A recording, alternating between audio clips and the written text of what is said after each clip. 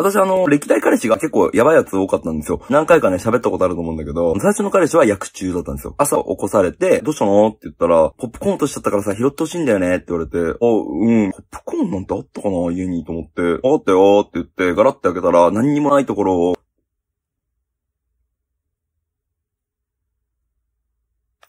てやってた。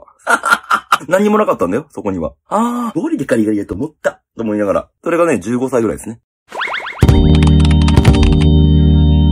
緒に寝てて、起こされて、ポップコーン落としちゃったんだよね。拾ってもらってもいい？って言われたので、あの、床を見渡したんだけど、そこにはなーにも落ちてなかったの。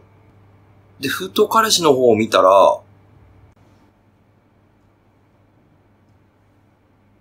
何が見えてるのかな？なんか見えてるえ、もうほぼホラーだから、ほぼホラー。当時15歳の私に彼はインシュリン注射だと言っていたけど、どうやら違ったようです。